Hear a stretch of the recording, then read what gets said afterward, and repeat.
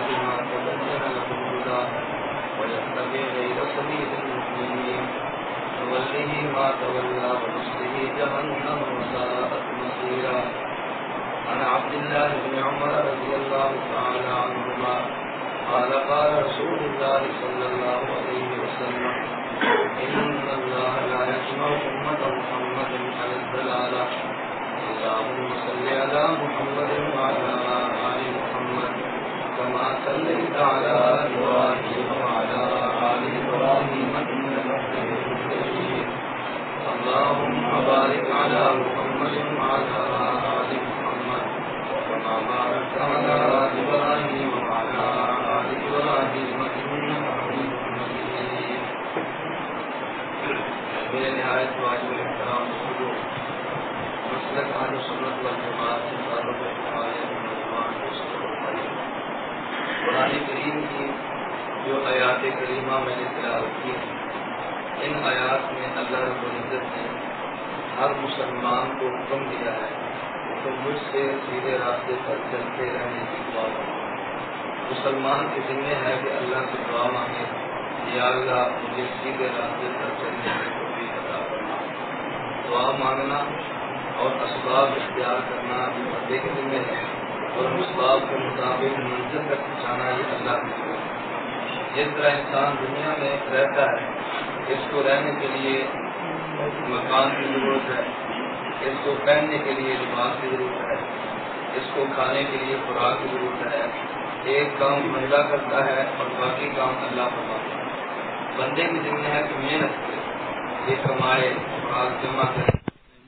में बनाकर डाले।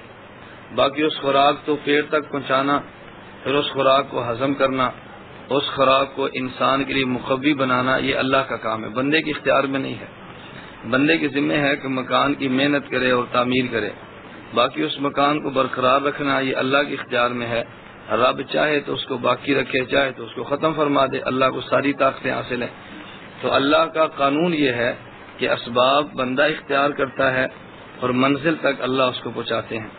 तो जिस तरह दुनिया में ज़िंदा रहने के लिए और ज़िंदगी के अयाम पूरे करने के लिए आदमी को मकान की ज़रूरत है, कपड़े की ज़रूरत है, रोटी की ज़रूरत है, ये इंसान की बुनियादी जरूरतें हैं ज़िंदा रहने के लिए, बिल्कुल इसी तरह आखिरत की मंजिल, जन्नत तक पहुँचने के लिए भी इंसान को एक चीज़ की ज़रूरत है, और वो है हिदायत। अगर अल्लाह हिदायत अता फरमा दे तो बंदा जन्नत तक पहुँचता है।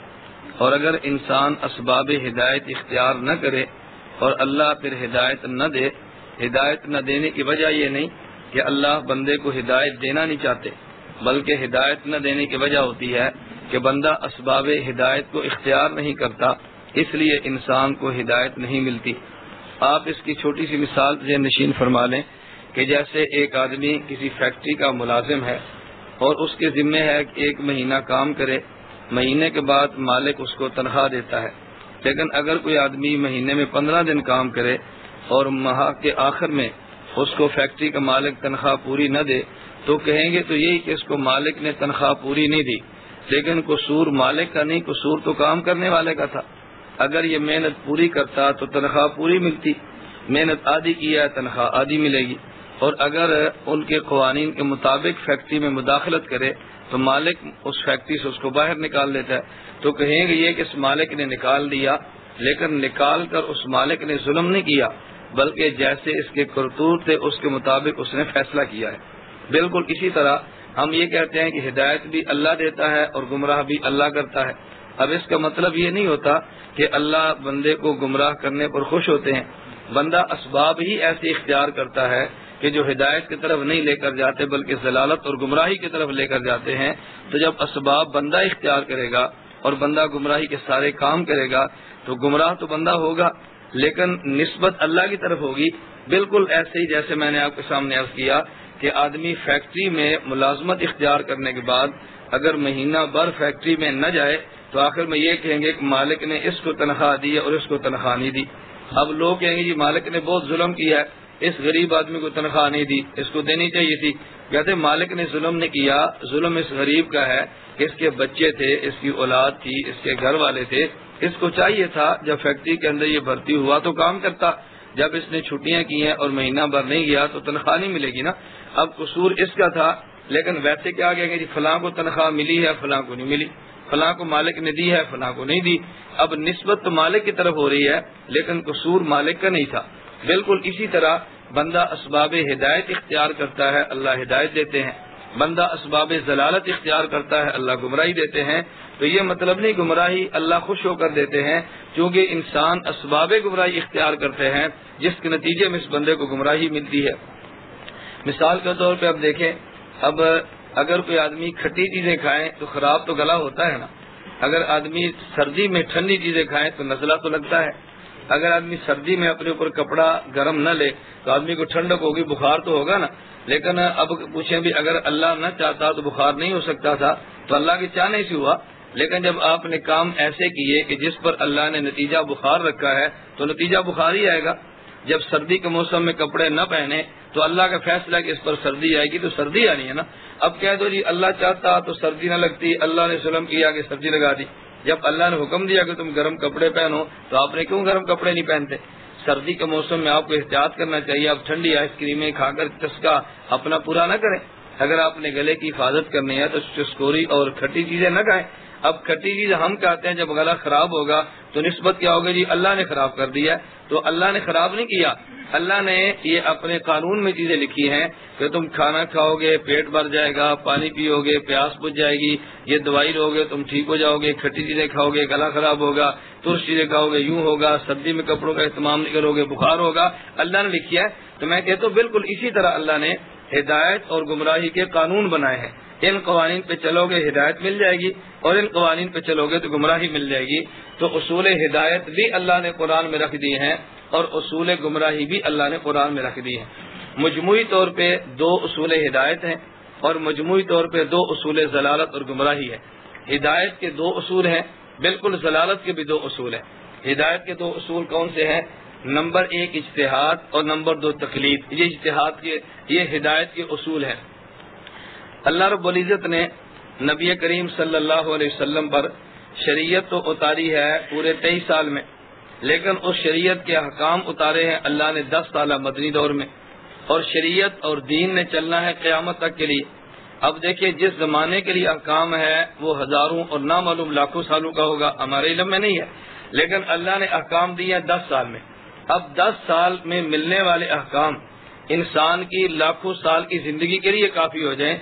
उसकी यही सूरत थी कि अल्लाह कुछ उसूल इर्शाद फरमा देता और बाकी उसूलों से निकालने के लिए उम्मत को अफराद दे देता कि इन अफराद उसूलों की रोशनी में मसाइल निकालेंगे तुम अमल कर लो। तो अल्लाह ने पहला उसूल दिया है इश्तिहाद का। बाद मसले कुरान में मौजूद हैं, हदीस पैगंबर में मौजूद हैं, रसूल अक्रम सल्लम की सुन्नत से साबित हैं, उम्मत के इजमा से मालूम होते हैं और जो मसाइल वहाँ पे न हो कुरानी उसूलों की रोशनी में मुश्त निकालता है, उम्मत के सामने पेश करता है, इसका नाम है इश्तिहाद। तो एक हिदायत का असूल है इश्तिहाद। हिदायत का माना कि आदमी ये चाहे कि मैं हर मौके पे सीधे रास्ते पर चलूँ, हर मौके पर मुझे रहनुमाई मिले, मैं जहाँ भी जाऊँ, मैं शरीयत पे अमल कर लूँ। अमल कैसे करेगा? उसके लिए अल्लाह ने इश्तिहाद दिया है और उम्मत को मुश्तहद दिए हैं। और हिदायत का दूसरा असूल, ये जो इश्तिहाद की नेमत नहीं रखता इश्तिहाद की सलाहियत नहीं रखता। इश्तिहाद की ताकत उसके पास नहीं है तो वो आदमी इश्तिहाद न करे, तकलीद कर ले। तो उसको तकलीद के ज़रिए शरीयत के मसाइल मिल जाएँगे। तो हिदायत के दो असूल हैं। नंबर एक, इश्तेहाद, और नंबर दो, तकलीद। बिल्कुल ऐसे ही, जैसे दुनिया की चीज़ों से नफा उठाने के लिए अल्लाह ने दो चीज़ें अता फरमाई हैं। नंबर एक, इजादात, और नंबर दो, एतमादात। ये दो चीज़ें हैं। अगर इजाद और एतमाद मौजूद हो इंसान दुनियावी चीज़ों से फ़ायदा उठाता है। इश्तेहाद और तकलीद मौजूद हो तो इंसान दीनी ओलूम में और शरीयत के मसाइल में नफा उठाता है। लेकिन दुनिया में दो चीज़ें हैं। नंबर एक, इजादात और नंबर दो, एतमादात। एक ईजाद और एक, एतमाद। शरीयत में तहकीक का नाम इश्तहाद है और दुनियावी अमूर में तहकीक का नाम ईजाद है। ईजाद में भी खालिक मुजद नहीं होता। खालिक अल्लाह होता है। इश्तहाद में भी असल शरीयत का शारे वो मुश्तहद नहीं होता, बल्कि अल्लाह होता है। तो एक मुजद कहलाता है और एक मुश्तहद कहलाता है। अब देखें मिसाल के तौर पे पानी के अंदर अल्लाह ने बिजली रखी है, मगर हम पानी से बिजली नहीं निकाल सकते। पानी से बिजली निकालना एक ईजाद है। पहले पानी से बिजली नहीं निकलती थी। जब तहकीक हुई तो पानी से बिजली निकल आई। अब इसका मतलब ये नहीं कि जब अल्लाह ने पानी को पैदा किया, उस वक्त इसके अंदर बिजली थी नहीं। बिजली उस वक्त भी थी, लेकिन जब तहकीक हुई इजादात की दुनिया में इंसान ने तरक्की की है तो इसी पानी से बिजली भी निकली है ना? बिजली पहले से मौजूद थी लेकिन निकाल कर इंजीनियर देता है। बिजली पहले से मौजूद है निकाल कर मुजद देता है, लेकिन उस बिजली का खालिक इंजीनियर नहीं होता। खालिक अल्लाह होता है, निकालता इंजीनियर है। बिल्कुल ज़मीन से कोयला और गैस, ये निकालता इंजीनियर है, खालिक अल्लाह है। तो जिस तरह इन इजादात में इंसान मुजद होता है और असल खालिक अल्लाह होता है, बिल्कुल इसी तरह शरी मसाइल में मुश्तहद कुरान की आयत से वो मसला निकालता है जो मसला पहले से मौजूद होता है, लेकिन हमें उसका इलम नहीं होता तो मुश्तहद उस कुरान की तहत से मसला निकालता है। तो शरीयत में तहकीकात का नाम इश्तहाद है और एतमाद का नाम तकलीद है और दुनियावी अमूलूम में तहकीक का नाम ईजाद है और उस पर अमल करने का नाम एतमाद है। अब दुनियावी चीज़ों से अगर नफा हासिल करना चाहे, उसका एक ही तरीका होगा कि एक आदमी मुजद हो तहकीक करे और दूसरा आदमी एतमाद करे और अपने घर को रोशन कर ले। बिल्कुल इसी तरह शरी मसाइल में एक आदमी इश्तेहाद करेगा और दूसरा आदमी उस पर तहकीक करके अतमाद करेगा और शरीयत पर अमल कर लेगा। दुनियावी लाइन में अगर इजादात खत्म हो जाए तो दुनियावी चीज़ों से नफा नहीं हो सकता। और अगर इजादात मौजूद हो, माहरीन इंजीनियर पर एतमाद खत्म हो जाए, तब भी दुनियावी से नफा नहीं उठाया जा सकता। बिल्कुल इसी तरह शरीयत में अगर इश्तेहाद न होता तो शरीयत के मसाइल का इलम न होता, और अगर तकलीद न होती तो उन मसाइल पे अमल न होता। तो वहाँ ईजाद और एतमाद चाहिए, यहाँ इश्तेहाद और तकलीद चाहिए। और इसी तरह गुमराही के भी दो असूल हैं। एक का नाम इलाहाद और एक का नाम बिदत। एक का नाम इलाहाद और दूसरे का नाम बिदत। इलाहाद और बिदत का माना। इलाहाद कहते हैं कि शरीयत के साबित शुदा मसले का इनकार कर देना। और बिदत कहते हैं गैर साबित शुदा मसले को शरीयत का हिस्सा बना देना। अगर एक मसला शरीयत में साबित हो, उसका इनकार कर दो तो ये भी जुर्म है। और अगर एक मसला शरीयत में न हो, आप उसको शरीयत का हिस्सा बना दो तो ये भी जुर्म है। तो साबित शुदा मसले का इनकार भी ना करो और गैर साबित शुदा मसले को दीन के अंदर दाखिल भी ना करो, फिर इंसान हिदायत पर रहता है, इंसान जलालत और गुमराह बच जाता है। इलाहाद और बिदत की एक मिसाल जे नशीन फरमा लें। इलाहाद और बिदत की मिसाल ऐसी है कि जैसे अल्लाह रब्बुल इज़्ज़त ने कुरान करीम में शरीयत और दीन को मिसाल दी है, खेती से कदर अखरज शता हो अल्लाह फरमाते हैं, इस दीन की मिसाल ऐसे है कि जैसे खेती है, ये दीन की और शरीयत की अल्लाह ने मिसाल दी है। अब देखें, किसान मेहनत करता है तो मेहनत करने के बाद ज़मीन में फ़सल उगती है। मेहनत करता है, ज़मीन में दरख्त उगते हैं। अब ये दरख्त अनार के होंगे, माल्टे के होंगे, किन्नू के होंगे, आम के होंगे, और जो खेती आपने उगाई है, वो गंदम है, वो मकई है, या चावल और खेतियाँ हैं। जब किसान मेहनत करे और खेती तैयार हो जाए, उसके बाद दो किस्म के नुकसान का खतरा होता है खेती में। नंबर एक, या तो इस खेती को कीड़ा लग जाएगा और इस खेती के कभी तने को बर्बाद करेगा, कभी पत्ते को तबाह करेगा और कभी फल को खा जाएगा, फल के अंदर कीड़ा लगेगा। और कभी यूँ नहीं होगा, बल्कि उस खेती के अंदर आपने जड़ी बूटियाँ बोई नहीं है, मगर वो उगाती है, घास उगाया। अब उसका क्या नतीजा होगा? गंदम में घास उगा तो गंदम को खराब किया। कमात में घास उगा तो उसने खराब किया। चावल में उगा तो आपने उसको खराब किया।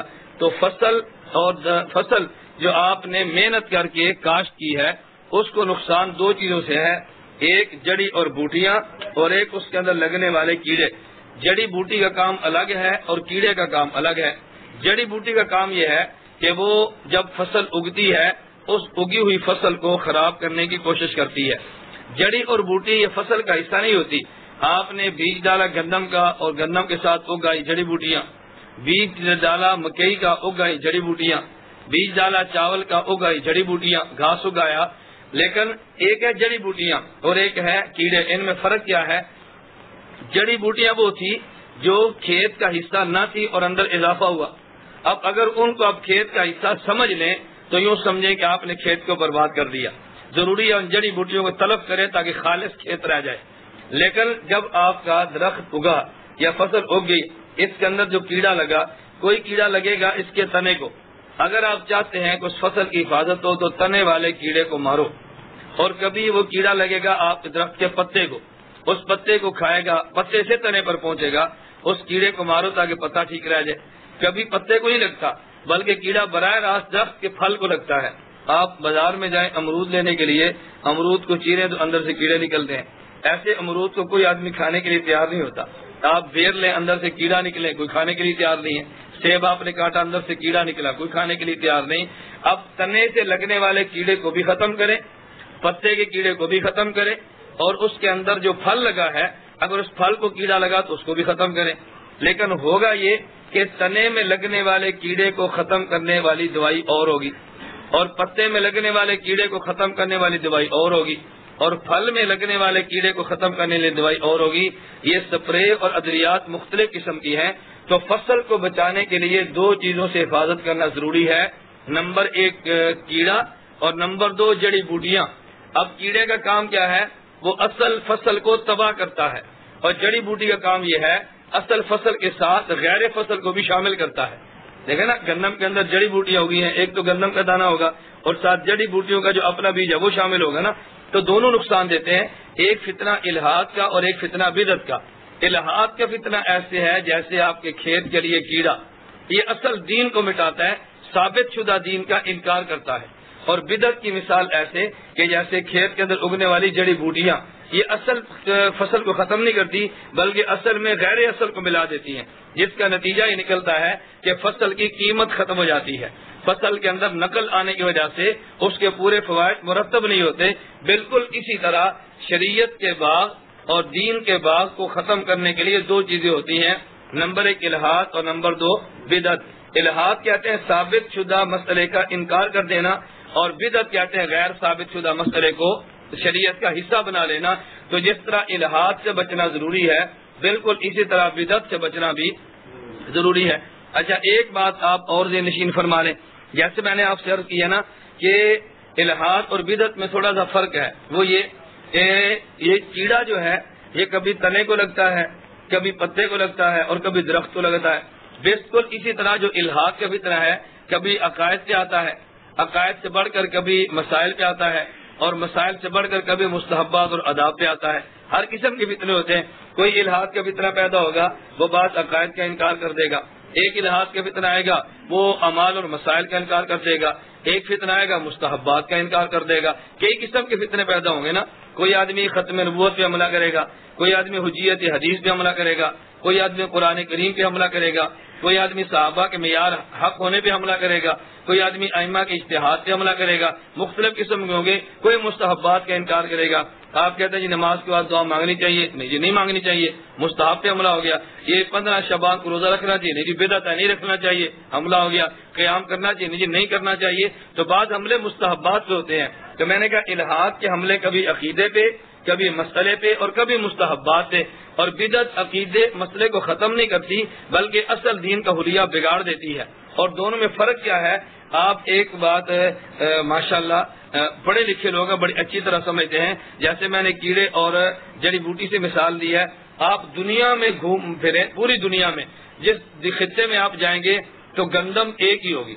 ये नहीं होगा कि पाकिस्तान की गंदम लंबी हो और इंडिया की गंदम चौड़ी हो। ये नहीं होगा, यहाँ की गंदम का वज़न थोड़ा हो और वहाँ की गंदम का एक एक दाना पाव पाव का हो। गंदम पूरी दुनिया की एक शक्ल की होगी। मकई पूरी दुनिया की एक शक्ल की होगी।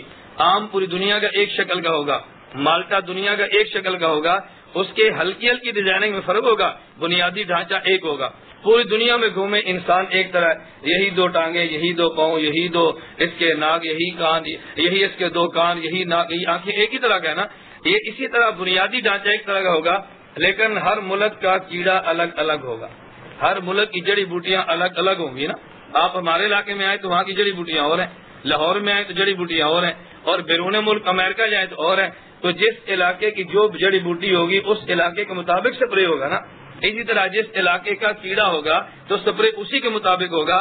तो मैंने कहा, दुनिया की फ़सलें एक जैसी होती हैं, लेकिन उस फ़सल को खराब करने वाली सुंडियाँ उस फ़सल को खराब करने वाले कीड़े और उस फ़सल में उगने वाली जड़ी बूटियाँ, ये अलग अलग होती हैं। बिल्कुल इसी तरह सुन्नत दुनिया में एक होगी, लेकिन उस सुन्नत को मिटाने के लिए जड़ी बूटियाँ हर इलाके की अलग अलग होंगी। बिदात हर इलाके की अलग है, इलाहाद हर इलाके का अलग है।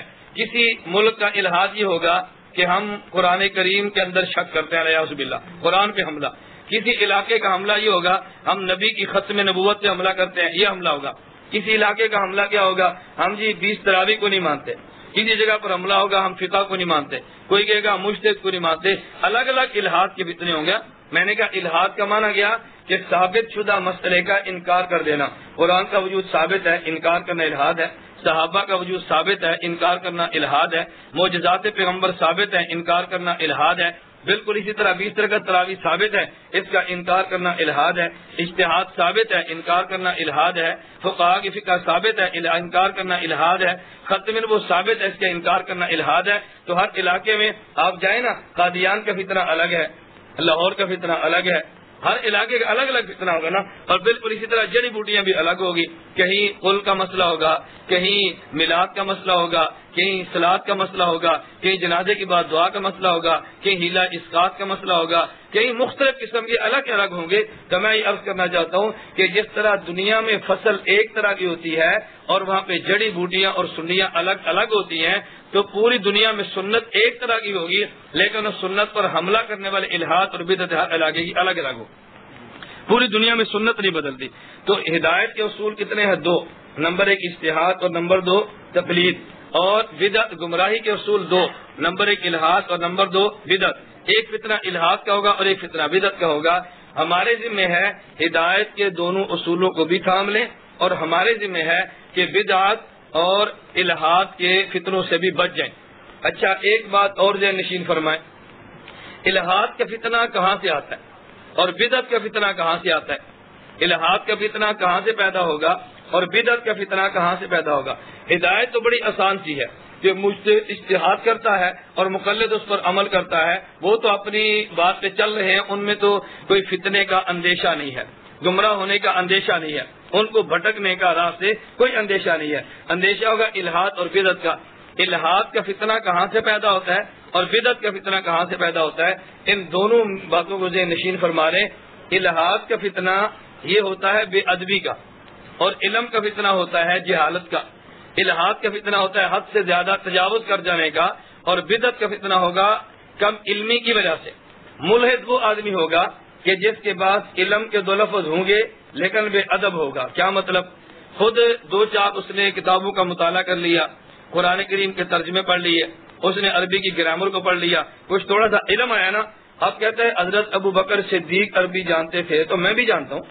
अबू बकर सिद्दीक ने अल्लाह के नबी को देखा है तो मेरे पास नबी का जखीरा मौजूद है, और जितनी हदीसें अबू बकर सिद्दीक के पास रज़ी अल्लाह उससे ज़्यादा तो मेरे पास है। क्यों?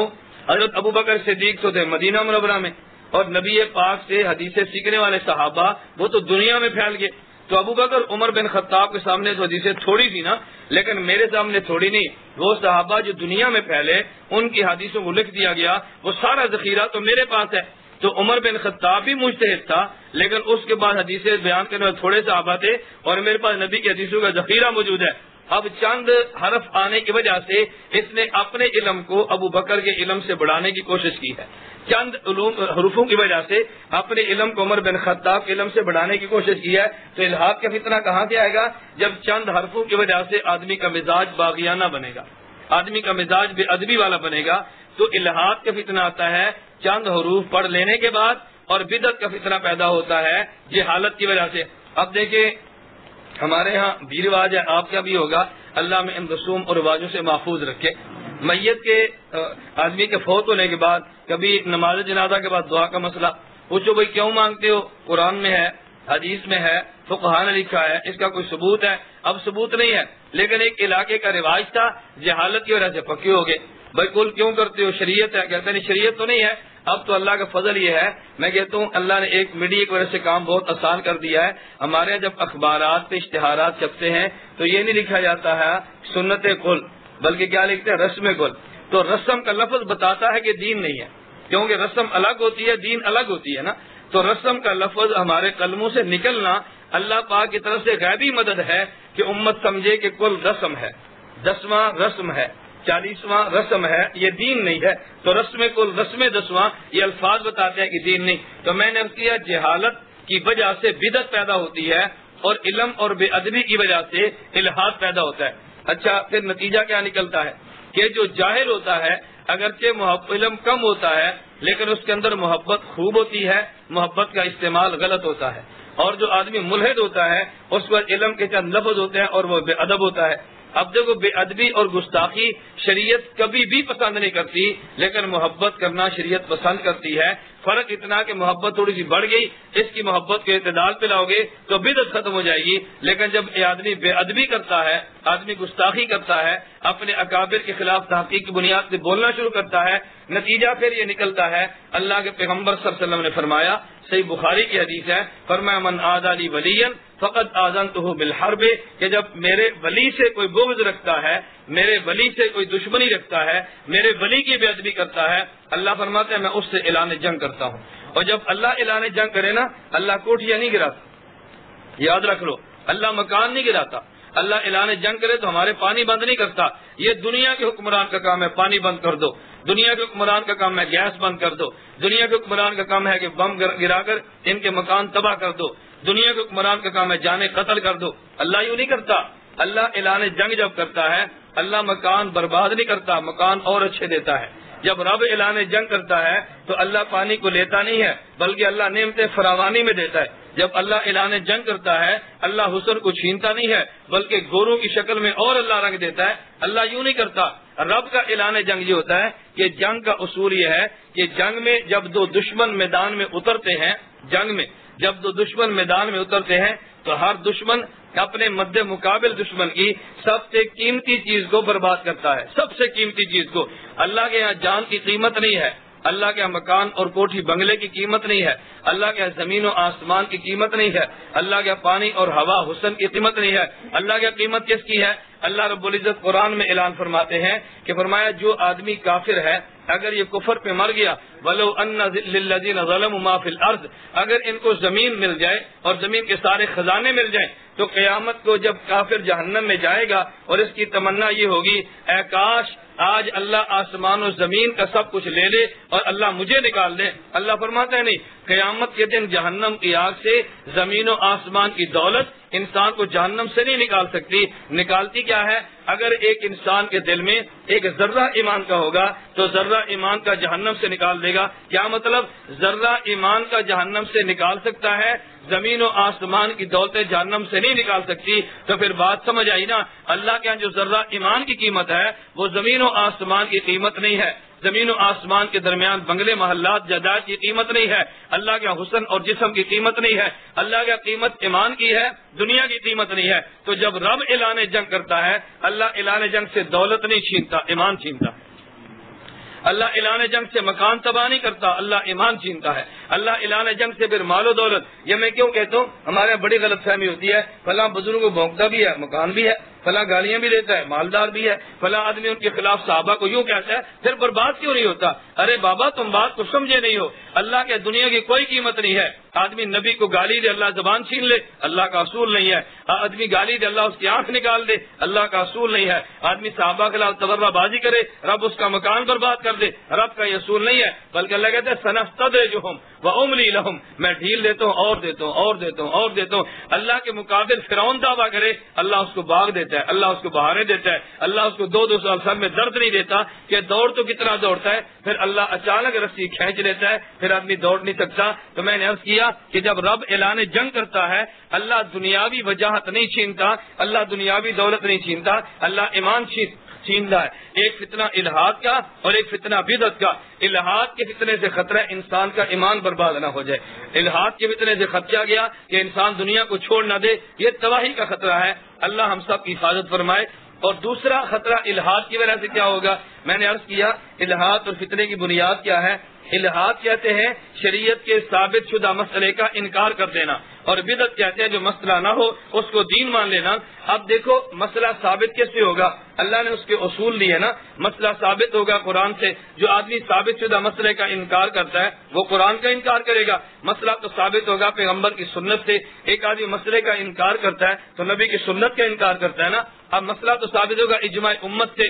जो आदमी मसले का इनकार करता है, वो उम्मत के इजमा का इनकार करता है ना। नतीजा क्या निकलेगा? ये बात नशीन फरमाओ। अल्लाह रब्बुल इज़्ज़त ने कुरान करीम में ऐलान किया। पारा नंबर पाँच, सूरत नुसरा एक सौ पंद्रह आयत में।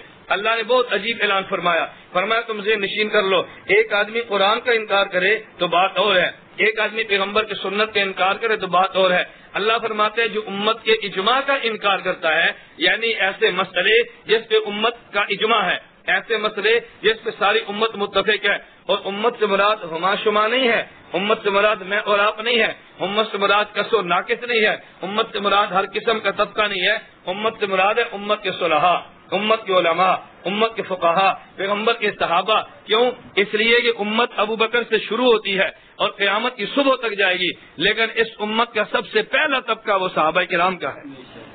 रज़ी अल्लाह मजमाइन उम्मत का तबका उला, ये सहाबा का तबका है। उम्मत का फर्द कामिल, ये सहाबा का तबका है। उम्मत का पहला तबका, ये सहाबा का तबका है।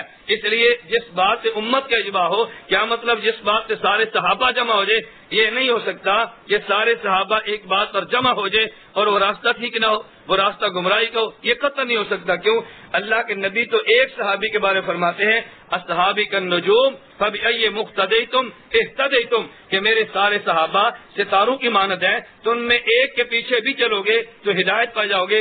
अब बताओ, अगर एक के पीछे चलने से आदमी को हिदायत मिलती है तो जिस रास्ते पे सारे सहाबा चले, उस पर मिलने से जन्नत नहीं, जन्नतुल फिरदौस मिलेगी। जन्नत तो मामली की जाए ना? अल्लाह फिर उस पर जन्नतुल फिरदौस देते हैं। तो मैंने क्या किया? एक एक एक सहाबी जिस पर चले। आल सुन्नत वलमात का कीदा यह है अगर किसी मसले पर इख्तलाफ हो और एक तरफ़ सारे सहाबा हो, एक तरफ़ एक सहाबी हो, कोई आदमी उस एक सहाबी वाले मसले पर भी अमल करेगा इनशाला गुमराह नहीं होगा, वो हिदायत याफ्ता होगा और जन्नत में जाएगा। क्यों? इसलिए अल्लाह के पैगंबर ने ऐलान किया मामिन अहदिन असहाबी यमूत बेअर्जन इल्ला बोसा कायदा बनूर अल्लाह यौम क़ियामा। पर मैं मेरा एक सहाबी भी ज़मीन के जिस खत्ते पे दफन होता है, कयामत के दिन वहाँ से उठेगा तो कायद बन के वहाँ उठेगा तो नूर बन गए। सहाबी नूर भी होगा, कायद भी होगा। तो एक होगा तो भी जन्नत में ले जाएगा ना। और जब सारे सहाबा जाएँगे तो उनके पीछे चलने वाला तो नूर नहीं नूर अला नूर होगा। रोशनी वो तो रोशनियों के मीनार होंगे, जिनके पीछे चलेगा। अब मुझे बताओ, अगर एक सहाबी कायद क्यामत उठे, एक सहाबी नूर बन के उठे, और जिस मसले पे सारे सहाबा अमल करें, वो रास्ता कितना मुकदस होगा? वो रास्ता कितना हिदायत वाला होगा? वो रास्ता गुमराही वाला कैसे होगा? इसलिए अल्लाह ने कुरान में ऐलान किया वमै युशा के रसूल मिम्बाद मा तबैन अलहुदा वयत तबे गैर सबीर नवल्लही मा तबल्ला वनुसलही जहन्नम। पर मैं जिस रास्ते पर उम्मत का इजमा हो जाए जिससे उम्मत के बली उम्मत के सुलहा, उम्मत के फुकाहा सारे इकट्ठे हो जाए, सब सहाबा इतफा कर ले, जो इस राह को नहीं मानता, इस राह को छोड़ता है, अल्लाह उसको दो सजाएँ देते हैं। नंबर एक नुवल ही माँ तवल्ला, उसको हिदायत नहीं देते, जहाँ वो जाता है, रब उसको भटकने देते हैं वनुसर ही जहन्नम, और क्यामत को अल्लाह जहन्नम सजा देते हैं। इजमा उम्मत के मुनकर को, सुलहा के रास्ते के छोड़ने वाले को, फुकाहा के तयशुदा रास्ते को बदलने वाले को अल्लाह एक सजा दुनिया में देते हैं, एक आखिरत में दुनिया की सजा जलालत और आखिरत की सजा जहन्नम है। दुनिया की सजा जलालत और गुमराही और आखिरत की सजा जहन्नम है। ये मैंने मुख्तसर सी तमहीद बांधी है असल मसला बयान करने के लिए। अगर ये तमहीद जहन में न हो, फिर आदमी को मसला समझ में नहीं आता। तो मैंने आपसे गुजारिश की है ना कि लहात और बिदत के फितने का ताको करना इल्हार और बिदत, इन कीड़ों इन सुंडियों और इन जड़ी बूटियों को अलग करके इस दीन के फ़सल को साफ़ करना, ये मेरी और आपकी ज़िम्मेदारी है। अब हर किस्म के तबका पैदा होगा और अल्लाह हम सब की हिफाजत फरमाए, हर शहर का, हर मुल्क का, हर जगह का एक ना एक सुंडी हर जगह पे को मिलती है। अल्लाह हिफाजत फरमाए लाहौर वालों की, पाकिस्तान में जो भी सुंडी उठती है, अक्सर लाहौर से उठती है।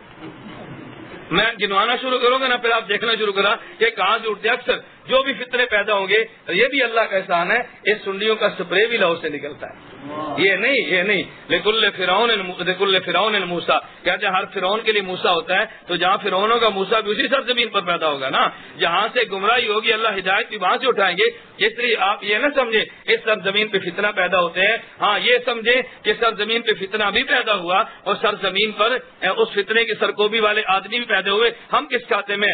जिस ज़मीन पर सुंडियाँ होंगी, जिस ज़मीन पर घास फूस होगी, जिस ज़मीन पर जड़ी बूटियाँ होंगी तो असल तना भी उसी ज़मीन पर होगा ना? असल फ़सल भी तो उसी ज़मीन पर होगी ना? असल फल भी तो वहाँ पर होंगे। हमारे जिम्मे दीन के पौधे को बचाना और उन सुंडियों पे स्प्रे करके खत्म करना। अल्लाह हमसे ये दीन का काम ले ले और अल्लाह में खालिश पौधा खुद भी खाने की और इस पौधे के समरात को आइंदा उम्मत तक मुंतकिल करने की तोफ़ी अता फरमाए। तो हमारे इस मुल्क में बदकिस्मती देखे, बहुत सारे फितने पैदा हुए और जो भी फितना अक्सर बड़ा आया, उसने धोखा देने के लिए अजीब बात है कि अहमद उसके नाम का हिस्सा बन गया। अजीब बात है। मिर्ज़ा गुलाम अहमद उसके नाम का हिस्सा बन गया। अब बहुत सारे आएँगे। आ, मैं अब एक एक नाम लेना शुरू करूँ। बहुत सारे मिर्ज़ा गुलाम अहमद ये भी आ, फितना था। सुंडी थी बहुत बड़ी। इसी तरह परवेज अहमद बहुत बड़ी सुंडी थी। आपके नाम में सर सैयद अहमद बहुत बड़ी सुंडी थी आपके लम में। आपको बहुत सारे अबाब इसको इतनी जल्दी कबूल नहीं करेंगे। जब पहली बार गुफ्तू आदमी एक मतलब चौंक उठता है कि हमने क्या सुना और हमने, हमारे सामने हुआ गया इतनी बातें नशीन फरमा लो कि दुश्मन अपने मुखालिफिन को अच्छे अच्छे लकब नहीं देता। ये बात जो नशीन कर लो। खैर, ये फिर कभी अल्लाह ने तोफीक अता फरमाई, इसका उनवान इसकी बारी है तो फिर सही। आप इस शख्स के भी नजरियात को जानते नहीं है। जन्नत का मुनकर है, जहन्नम का मुनकर है, आसमान का मुनकर है, जन्नत की नियमतों का मुनकर है। तहजीब इसकी आप किताब पढ़े, उसमें इसके नजरियात का मुताला करें। कितने नजरियात का वो इनकार कर गया? अल्लाह हिफाजत फरमाए। और एक वो सुंडी जिसका मैंने आज तस्करा करना है, इसका नाम है जवेद अहमद। हमारे लाहौर का है, जवेद अहमद गामदी। इसने भी इस दीन को बर्बाद करने के लिए कई कई मसले पेश किए और मसले वो पेश किए जिसका ताल्लुक कुरान से भी नहीं था, मसले वो पेश किए पैगंबर की सुन्नत से भी नहीं था, मसले वो पेश किए कि जिसका ताल्लुक इजमाय उम्मत से भी नहीं था इजमाय उम्मत से कट के एक नया रास्ता पेश किया। एक आज इसका मसला नहीं है, इस बदबख्त ने मसलों की लाइन लगा दी है उम्मत को बर्बाद करने के लिए, उम्मत को तबाह करने के लिए। अल्लाह हम सब की हिफाजत फरमाए, मैं चंद एक इसके नजरियात आपके सामने अर्ज़ करता हूँ और किताबों के हवाला जात के साथ आप लाहौर में रहते हैं, आप किताबें देख लें, फ़ोन पे इससे पूछ लें, क्या हमने बात सुनी, गलत है या ठीक है? फिर इन नजरियात को कुरान पे परखे, इन नजरियात को पैगंबर की रिवायात पे परखे, इन नजरियात को इजमा उम्मत पे परखे तो फिर देखे दीन को तबाह कैसे किया। अल्लाह हम सबको बात समझने की तोफीक अता फरमाए। मैंने कहा, जवेद अहमद गामदी का फितना, ये इलाहाद का फितना है, बिदत का फितना नहीं है। इलाहाद और बिदत में फ़र्क समझिए ना। इलाहाद किसे कहते हैं?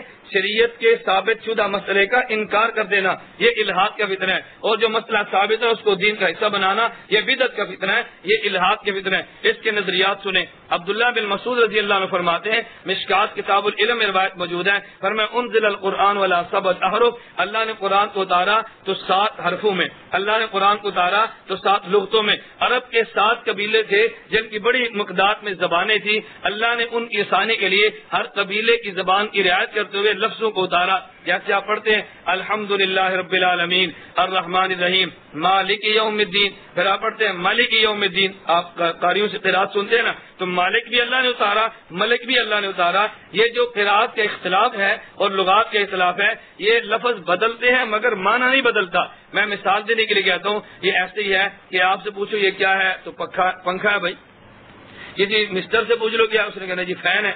हम जैसे जाति से पूछो, क्या? उसने कहना जी पखा अब पक्का कह लो या पंखा कह लो या फ़ैन कह लो कोई माना अलग अलग है?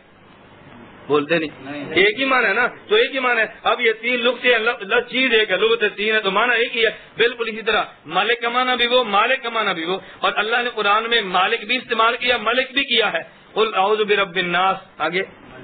है ना मलिक नस अब देखो मलिक लफ्ज कुरान में भी है। वही मलिक लफ्ज सूरत फातिहा में दो कबीले थे तो मलिक की भी इजाज़त थी, मालिक की भी इजाज़त दी है। तो दो लोग तुम्हें उतराना। अब्दुल्ला बिन मसूद रज़ी अल्लाह फरमाते हैं कि अल्लाह ने कुरान को सात हरफों में उतारा, सात लुगतों में उतारा, सात तरीकों पर उतारा और पढ़ने की इजाज़त दी। और इब्दुल्ला अबन मसूद रज़ी अल्लाह वो साहबी हैं कि जिनके बारे में बुखारी की रिवायत है, अल्लाह के पैगंबर ने फरमाया इस कुरान मिन अरबातिन, कुरान पढ़ो तो मेरे चार इन साहबाजी को उनमें से पहले नाम पैगंबर ने अब्दुल्ला बिन मसूद का लिया। अब्दुल्ला बिन मसूद वो साहबी हैं कि जिनके बारे अबू मूसा अशरी रज़ी अल्लाह कहते हैं कि जब हम यमन से मदीना मुनवरा आए तो अबू हज़रत अब्दुल्ला बिन मसूद का पैगंबर के इतना आना जाना घर में था, हम ये समझते हाल बैत और घर का फर्द है। अब्दुल्ला बिन मसूद वो शख्स है कि जिसके बारे में हजूर ने फरमाया था, अब्दुल्ला, जब तुम आओ ना और मेरे घर में पर्दा न लटका हो तो बगैर इजाज़त के अंदर आओ। पर्दा न लटकाओ, बगैर इजाज़त के अंदर आओ। और साहिब सवाक साहिब नालैन, साहिब विसादा, इनके लकब थे। हजूर का हजूर का तकिया उठाते, साहिब विसादा। हजूर की मिसवाक देते, साहिब सवाक नबी पा के जूते उठाते, साहिब नालैन। पैगंबर की लाठी उठाते, साहिब असा ऐसा मुबारक साहबी था। और आखिरी बात अब्दुल्ला बिन मसूद वो साहबी है कि जिनको लिसान नबुवत से ये एजाज मिला, फरमाया हदसकुम इब्न मसूदिन फसद हो जो हदीस अब्दुल्ला बिन मसूद बयान करे, उसको सच्चा जानना, झूठा न कहना। अब्दुल्ला बिन मसूद कहते उनजिल कुरान सब कुरान अल्लाह ने सात लुगतों में उतारा जवेद गामदी कहते नहीं कहते कुरान की सिर्फ़ एक किरात दुरुस्त है बाकी सब किराते अजम का फितना है बाकी सब किराते अजम का फितना कहते अजमियों के फितरे हैं अरबों के है ही नहीं अच्छा अजीब बात यह है कि जो एक किरात गांधी मानता है ये जो किरात हमारे पास है इस किरात का कारी अरबी नहीं है आसिम अजमी है इस किरात का कारी अरबी नहीं है बल्कि कौन है अजमी कूफा का रहने वाला, कूफा तो अजम में है, अजमी। और नंबर दो हमारे हम तक जो किरात पहुँची है, इस किरात का कारी आसिम, वो भी अजमी, और इस कारी से आगे रावी हफ्स, ये भी अजमी। तो कहता जी, मैं एक किरात मानता हूँ, बाकी अजमी है। तो जो मानी, वो भी अजमी निकली, अरबी तो वो भी ना निकली। अब मैं कहता हूँ, कम इल्मी देखो और इस शख्स के मुताले की कमी देखो। लेकिन लोग इसको इमाम मुश्तिद मानते हैं। ये तो लिखा कुरान की सिर्फ़ एक किरात दुरुस्त है, बाकी सब किराते अजम का फितना है। इसकी किताब है मिजान, सफ़ा पच्चीस, छब्बीस, बत्तीस तक इसमें इसने बहस की है। इसने बहुत बड़ा इनकार किया, एक साथ अच्छे किरात का तो इलाहाद का फितना दिया। नंबर दो, पूरी उम्मत का इजमा है। इसका दुनिया का कोई भी इलम इंसान इनकार नहीं करता। कुरान करीम की आयात गवाह है कि शरीयत के मसाजिद, शरीयत के माखज और शरीयत के अजिल्ला ये चार हैं। शरीयत का जो मसला हल होगा कुरान से मसला हल होगा सुन्नत से मसला हल होगा इजमा उम्मत से मसला हल होगा इश्तेहाद शरी से, ये चार उसूल अल्लाह ने कुरान में दिए हैं। नंबर एक कुरान इतबा उनजिला में रब पारा नंबर आठ सूरत आराफ, आयत नंबर तीन। नंबर दो सुन्नत उल तुम तो हिब्बून अल्लाह फतबियोन पारा नंबर तीन सूर्य आल इमरान, आयत नंबर बत्तीस। नंबर तीन इजमा उम्मत। ये वमयुशा की रसूल मिम्बाद मिम्बाद मातबीन हुदा वयतब गैर रसूलमिन नवल्लि मातवल्ला इजमा उम्मत। पारा नंबर पाँच, सूरत निसा, आयत नंबर पंद्रह। और इज्तिहाद शरी, कयास शरी, अल्लाह फरमाते हैं बतबे सभी रमन अनाबा इलई पारा नंबर इक्कीस सूर्य लुकमान, आयत नंबर पंद्रह। मैं कहता हूँ, चार उसूल शरीयत हैं, चार अदिल्ला शरिया हैं। और चार मसादिर और माखिर हैं जैसे मसला निकलता है। लेकिन गामदी कुरान से हटके पैगंबर की सुन्नत से हटके और उम्मत के इजमा से हटके नया रास्ता पेश करते हुए लिखता है, मिजान सभा अड़तालीस पे कहते हैं, दीन के मसाजिर व माखिर कुरान के अलावा दीन फितरत के हकायक दीन फितरत के हकायक नंबर दो सुन्नत इब्राहिमी। और कहते हैं, कदीम सहायक हैं। यानी हमें जो मसला मिलेगा, इब्राहिम के दीन से मिलेगा, हमें जो मसला मिलेगा, पहले सहीफों से मिलेगा, हमें जो मसला मिलेगा, वो दीन फितरत से मिलेगा। जबकि अल्लाह के पैगंबर क्या फरमाते हैं, तुम दीन इब्राहिमी की बात कर रहे हो, पहले सहीफों की बात करते हो। मदीना मुनवरा में हज़रत मूसा इस्लाम अपने हाथ में कुरात लिए पढ़ रहे हैं। हजूर ने देखा पैगंबर गुस्से में हुए, चेहरा असर हुआ। मैं उमर क्या करते हो? हज़रत उमर ने कहा, जी तो रात पढ़ता हूँ। फरमाया लौकाना मूसा हैया लमा वस्तिबाई आज मूसा भी ज़िंदा होते तो मेरी इतबा करते, तुम मेरे होते हो तो रात को पढ़ते हो। और ये कह रहे, पिछले से ही मसले, दीन इब्राहिमी से मसले। तो मैंने अर्ज़ किया, उम्मत के इजमा को छोड़ के इसने नया रास्ता दिया है।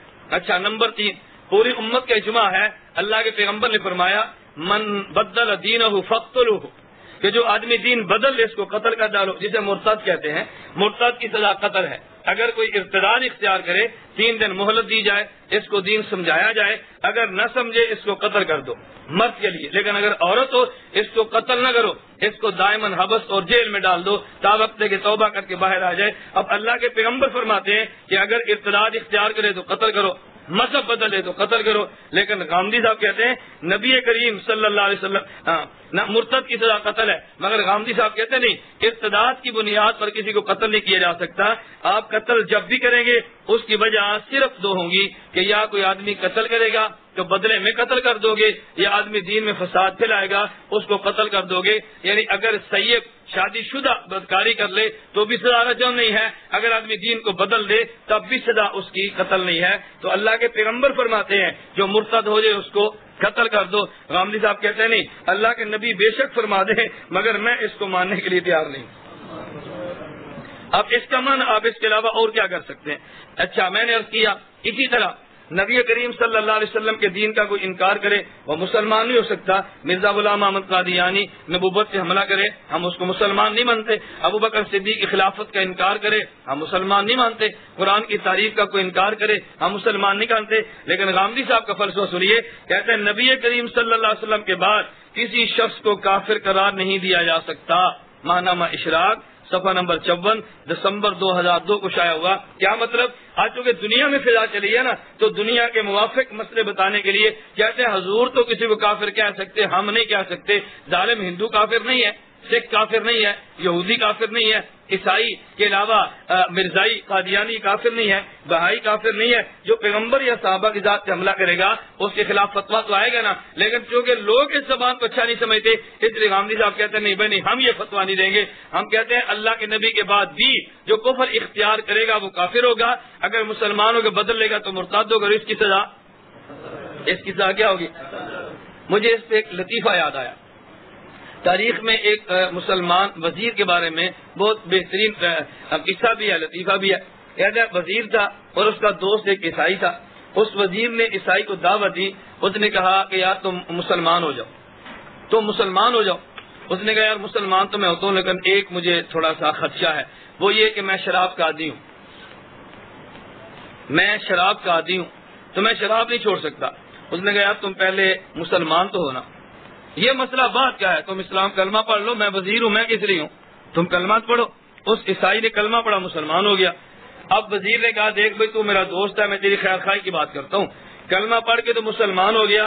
अब अगर तूने दीन को छोड़ा, तुझे कत्ल कर देंगे, मुर्ताद हो जाएगा। और अगर तूने शराब पी, तुझे कोड़े मारेंगे। अगर तूने शराब पी तो कोड़े मारेंगे। और अगर तूने शराब के दीन को बदला तो तुझे कत्ल कर देंगे। अब बता दू क्या चाहता है। उसने कहा, जी, मैं ऐसे ही ठीक हूँ। अब सजाएँ मौजूद थी ना तो आदमी फ़ौरन हो गया। लेकिन गांधी साहब का फलसफा सुनिए। गांधी साहब कहते हैं, शराब नोशी पर कोई शरी सजा नहीं है। शराब नोशी पर कोई शरी सजा नहीं। इनकी किताब है बुरहान, सफ़ा नंबर एक सौ अठतीस। पूरी उम्मत कह रही है, शराब की सजा है। साहबा का इजमा है, शराब की सजा है। मगर गांधी साहब कहते हैं, शराब नोशी पर कोई सजा मुकर कोई सजा मौजूद नहीं है। जक़ात का शरीयत ने निसाब मुतन कर दिया। अल्लाह के नबी ने जक़ात, सोने का निसाब दिया, चांदी का निसाब दिया, ऊंटों का निसाब दिया, बकरियों और भेड़ों का निसाब दिया। मगर गांधी साहब कहते नहीं, जक़ात का निसाब मनसूस व मुकर नहीं। कानून इबादत सफ़ा नंबर एक सौ उन्नीस। गांधी साहब ने इनकार कर दिया। शरीयत ने जिन जिन मसाइल को बयान किया, नंबर वार इस जालिम ने एक एक मसले का इनकार किया। अगर आदमी कमारा हो और जिना करे तो सजा इसके कोड़े। अगर शादीशुदा हो और जिना करे तो सजा इसकी रजम संसार कर दो। ये सजा इसकी। लेकिन गांधी साहब कहते नहीं, शादीशुदा और कमारे जानी दोनों के लिए एक ही हद सौ कोड़े हैं। मिजान सफ़ा नंबर दो सौ निन्यानवे। शरीयत का मसला, अगर वारिस काफिर हो और मूरिस भरने वाला मुसलमान हो तो काफिर मुसलमान का वारिस नहीं बनता। गांधी कहते नहीं, गैर मुसलमान भी, गैर मुस्लिम भी मुसलमानों के वारिस बन सकते हैं। मिजान सभा नंबर एक सौ इकहत्तर। मौसीकी और गाने के बारे में। नबी करीम सल्लम के वाजे इर्शादात मौजूद हैं, हरमत के भी मौजूद हैं, लानत के भी मौजूद हैं। नबी करीम सल्लम के बहुत सारे ऐलानात हैं। और सौतान मलना ने फिर दुनिया वल आखिरा। दो आवाज़ ऐसी है कि दुनिया आखिरत में अल्लाह उस पर लानत भेजता है। उनमें से एक, मरते जब कोई मुसीबत हो रन्नत इंदा मुसीबत और मिसमार इंदा नेमत हजू ने फरमाया, जब खुशी मिले तो गाना, और दुख आए तो पीटना। दोनों पर अल्लाह की लानत आती है। गांधी साहब कहते नहीं, मौसीकी और गाना बजाना भी जायज़ है। मानामा इशराक, मार्च सफ़ा दो हज़ार चार का। इसी तरह हमारे यहाँ पिछले साल आपके इलम में एक मसला उठा था, अमेरिका ने मसला उठाया। अमरीका को क्या पता कि उसकी मेहनत के लिए पाकिस्तान में बहुत बड़ी खेप मौजूद है। मसला ये था कि औरत मर्द की इमामत करा सकती है या नहीं करा सकती? दुनिया इस पे मुतफिक है वो अजम के उलमा मुतफिक है कि औरत मर्दों की इमामत नहीं करा सकती। गांधी साहब कहते हैं, औरत मर्दों की इमामत करा सकती है। मानामा इशराक, मई 2005 कुफार के खिलाफ जिहाद के ऐलान पैगंबर ने ऐलान किया। और क्यामत तक जिहाद बाकी रहेगा। लेकिन गांधी साहब नज़रिया देते, कहते हैं कुफार के खिलाफ जिहाद करने का हुक्म अब बाकी नहीं रहा। और अगर किसी इलाके को तुमने फतह कर लिया तो मफतू काफरों से जिदिया लेना जायज़ नहीं। मैदान सफ़ा नंबर दो सौ सत्तर, मैंने चंद एक नजरियात आपके सामने बयान किए हैं, जो तयशुदा नजरियात थे और गांधी इनकार कर गया। अजीब बात यह है कि गांधी साहब ने कहा, जो नबी, जो दीन है ना सुन्नत इसकी कुल तादाद चालीस है, फिर कहा जी सत्ताईस है, उसमें दाढ़ी का नामो निशान तक नहीं है, क्योंकि दाढ़ी खुद नहीं रखती नहीं ना, सुन्नत के इनकार कर दिया। इस तबके को करीब करना था, सुन्नत के इनकार कर दिया। तो जिस तबके को करीब करना था, जो मसाइल उनके पसंदीदा थे, गांधी साहब ने हिम्मत करके उन एक एक मसलों का इनकार करके और उनके मुवाफिक दीन को देता चला गया। तो मैंने अर्ज़ किया बाद नशीन फरमा लो। मैं फिर खुलासा अर्ज़ करता हूँ कि हिदायत के असूल दो हैं, नंबर एक इश्तेहाद और नंबर दो नंबर एक इश्तेहाद और नंबर दो तकलीद और जलालत के असूल भी दो हैं। नंबर एक इलाहाद और नंबर दो बिदत इलाहाद कहते हैं, साबित शुदा मसले का इनकार करना जैसे गामदी करता है। और बिदत कहते हैं, गैर साबित शुदा मसले को दीन का हिस्सा बनाना जैसे बिदअती करता है। अल्लाह हमें हिदायत पर चलने की तोफीक अता फरमाए। अल्लाह हमें जलालत और गुमराही से बचने की तोफीक अता फरमाए। इसलिए मैं कहता हूँ, गामदी के बारे में ये किसी ने बड़ी अजीब बात की है। कहते हैं, गामदीयत दीन की राहों में कजबीनी का नाम है। गामदीयत दीन की राहों में कजबीनी का नाम है। गामदीयत दीन के नाम पर बेदीनी का नाम है। गामदीयत दीन की